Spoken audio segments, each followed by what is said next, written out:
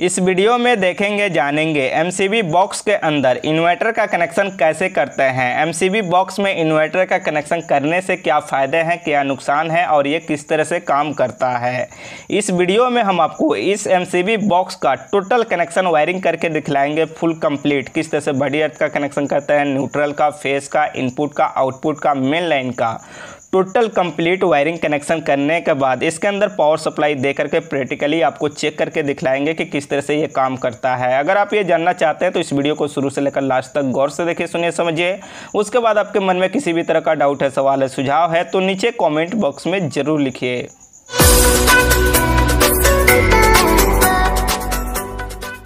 तो जैसे कि ये है हमारा एमसीबी बॉक्स और इस एमसीबी बॉक्स का पूरा हम कनेक्शन करके दिखलाएँगे, उसके बाद इन्वर्टर का भी कनेक्शन करके दिखलाएँगे। जो ये वायर है, ये है हमारा ब्रांच वायर जिसे लोड कहते हैं, जो हमारा रूम से आया हुआ है। जो इसमें ग्रीन कलर का वायर दिख रहा है zero point seven five M का है, जो बड़ी अर्थ का है, और इसमें जो ब्लू कलर का वायर दिख रहा है, एक एम का है जो इन्वर्टर का है। उसके बाद इसमें आपको ब्लैक कलर का जो वायर दिख रहा है, इसमें दो तरह का वायर है। एक है 1.5 पॉइंट mm का, एक है 2.5 पॉइंट mm का। ये न्यूट्रल का वायर है, जो हमारा रूम, किचन और बाथरूम से आ रहा है। और जो येलो कलर का है, इसमें भी 1.5 पॉइंट mm और 2.5 पॉइंट mm का वायर है, जो फ़ेज़ का वायर है। और नीचे से हमारा मेन लाइन का वायर है, जैसे ग्रीन हमारा बडी अर्थ है। और इसमें रेड जो है, ये हमारा इन्वर्टर का है, जो नीचे फ्लोर में है, ये सेकेंड फ्लोर पर काम हो रहा है।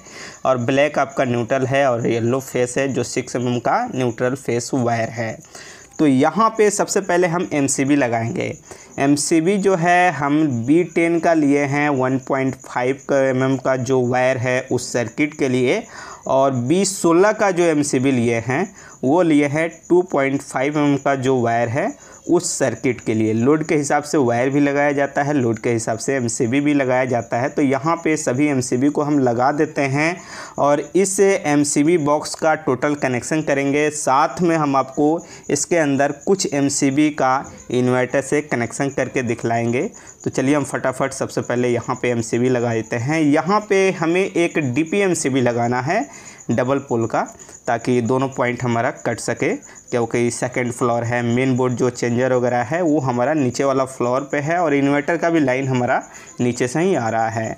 और यहाँ पे कुछ एमसीबी जैसे हम कम लगा रहे हैं और एमसीबी बॉक्स थोड़ा सा बड़ा है तो यहाँ पे बीच में कर देंगे एमसीबी को और उसके बाद जो वायर हमारा है, एक साइड इस तरह से वायर को हम निकाल लेते हैं। जैसे इस तरह से वायर को कर लेंगे साइड में और यहाँ पे हम टेप का इस्तेमाल करेंगे। अगर आप टाई का इस्तेमाल करेंगे तो ज़्यादा बेहतर होगा। बहुत सारा वीडियो में हम बतलाए हुए हैं और टाई किस तरह से लगाते हैं उसको भी हम पूरा तरह से दिखलाए हुए हैं। अगर आप उन वीडियो को नहीं देखे हैं और भी डिस्ट्रीब्यूट बॉक्स एम बॉक्स का कनेक्शन कैसे करते हैं, अगर उस टाइप की वीडियो देखना चाहते हैं तो ऊपर आपको आई लिंक और वीडियो का डिस्क्रिप्शन में लिंक मिल जाएगा और भी तरह के वीडियो आप देख सकते हैं। यहाँ पे हम क्या करेंगे? सबसे पहले इस तरह से इन्वर्टर का वायर निकालेंगे और इसको एक बराबर कटिंग करेंगे। इस वायर को छिलेंगे इस तरह से और छिलने के बाद जो मेन हमारा रेड कलर का जो नीचे से आ रहा है इन्वर्टर का वायर, इसको भी छिलेंगे और इसके साथ इसको जोड़ देंगे। इन्वर्टर का जो मेन लाइन का वायर है, उसको हम कटिंग नहीं किए हैं। थोड़ा बड़ा रहेगा तो यहाँ पे लूप रहेगा तो ज़्यादा बेहतर रहेगा। जैसे ये बड़ा है तो हम क्या करेंगे? इस तरह से मोड़ेंगे और इसको हम साइड में डाल देंगे। जिस तरह, इस तरह से हम इसके अंदर डाल दिए। और यहाँ पे इन्वर्टर वायर को छोड़ देंगे। उसके बाद जितना बड़ी अर्थ का वायर है, जो हमारा ग्रीन कलर का है, इसको लेंगे और इस तरह से क्या करेंगे? देखिए, एक वायर इसमें छोटा है तो इसको क्या करेंगे? एक दूसरा वायर छिलेंगे और उसमें जोड़ देंगे और इसके ऊपर प्रॉपर तरह से टेप लगा देंगे।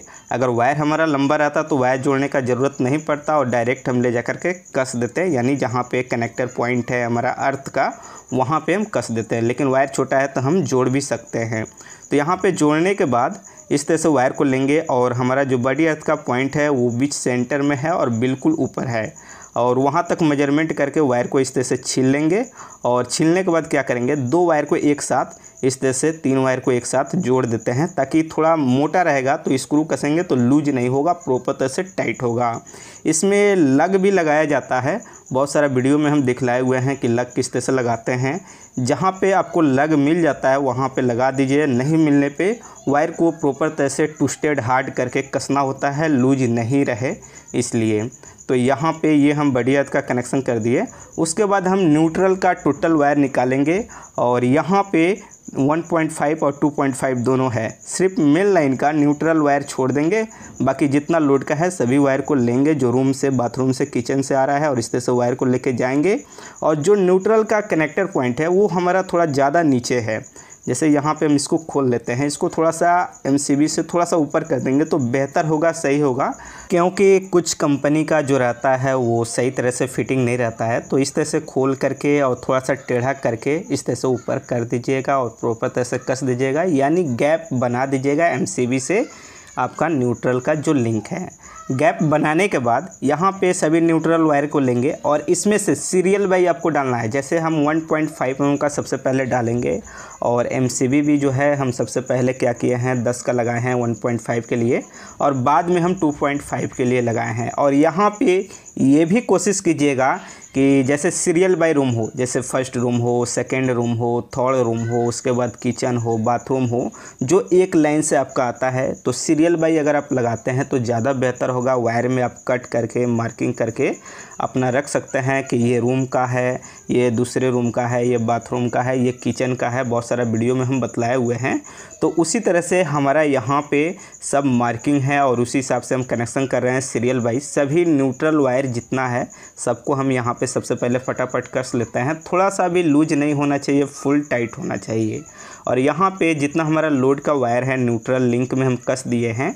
अब यहाँ पे एक वायर और लेंगे जो हमारा सिक्स एम mm का होगा, यानी छः एम mm का ब्लैक कलर का, और इसको क्या करेंगे? छीलेंगे अच्छी तरह से दोनों साइड और छील करके इसको टूस्टेड करेंगे। एक साइड हमें एमसीबी में कसना है, उसके हिसाब से छीलेंगे, एक साइड हमको न्यूट्रल लिंक में कसना है। इसमें जैसे न्यूट्रल लिंक है, उसमें हमें मेन न्यूट्रल इन तो करना होगा ना, इसके लिए ये है।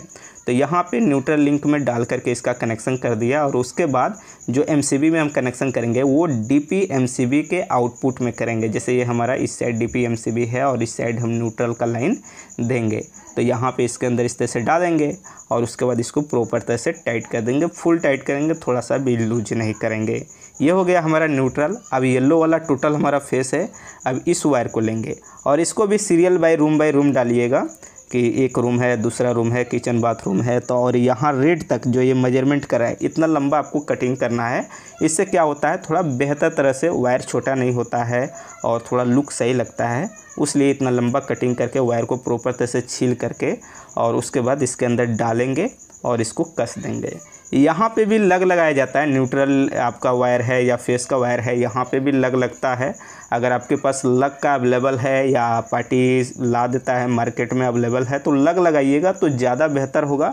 लेकिन हमारे यहाँ इस टाइम पे नहीं मिल पाया, जो पार्टी को लिखवाए थे वो नहीं ला पाएँ।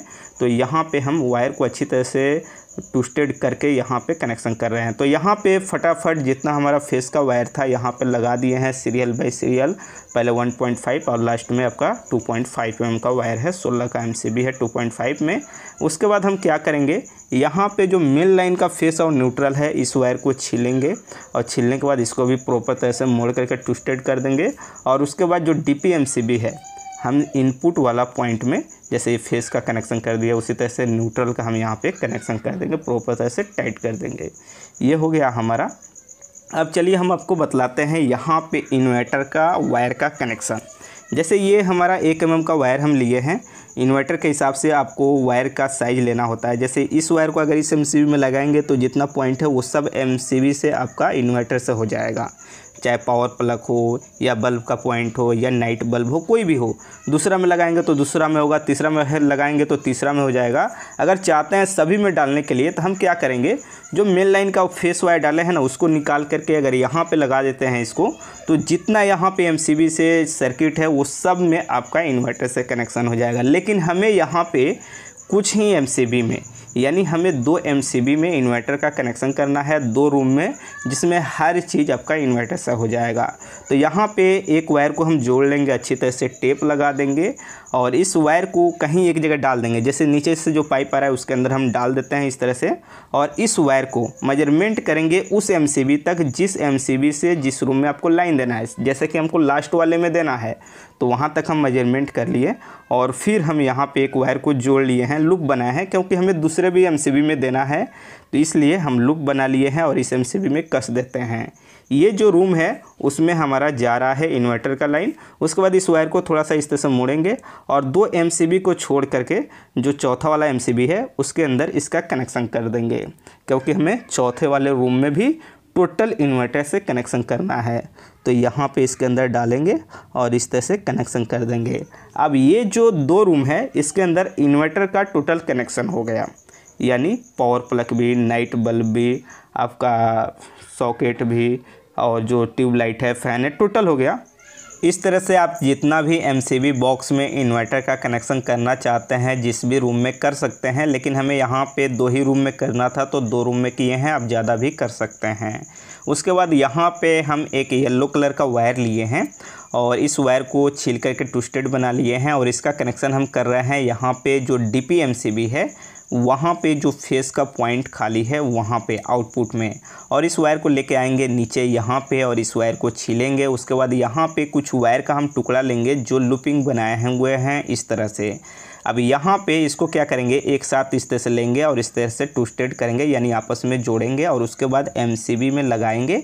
बीच में लगाएँगे तो ज़्यादा बेहतर होगा, जैसे कि हम बीच में लगा रहे हैं। और यहाँ पे इसके अंदर डालेंगे और इसका कनेक्शन कर देंगे। अब ये लूपिंग के लिए लिए हुए हैं उस एमसीबी में इसका कनेक्शन करेंगे जिसमें हम इन्वर्टर का कनेक्शन नहीं किए हुए हैं या आपको नहीं करना है। इस जगह पे फेस लिंक का भी प्रयोग किया जाता है, लगाया जाता है, लेकिन यहाँ पे फेस लिंक नहीं लग सकता है क्योंकि अल्टरनेट है, बीच में आपका इन्वर्टर का वायर है तो इस जगह पे आपका वायर जो है, लूपिंग है, वही बेहतर होगा और इस तरह से फेस के लिए आप लूपिंग कर सकते हैं। और यहाँ पे टोटल हम फाइनल कनेक्शन कर लिए हुए हैं, जिसमें इन्वर्टर का कनेक्शन हमको करना है, इन्वर्टर का कनेक्शन कर दिए हैं, जिसमें हमको फेस यानी मेन लाइन का कनेक्शन करना है, उसमें मेन लाइन का कनेक्शन हम कर दिए हुए हैं। अब चलिए क्या करते हैं, इसके अंदर हम पावर सप्लाई देते हैं, यानी लाइन देते हैं, उसके बाद हम आपको चेक करके दिखलाते हैं।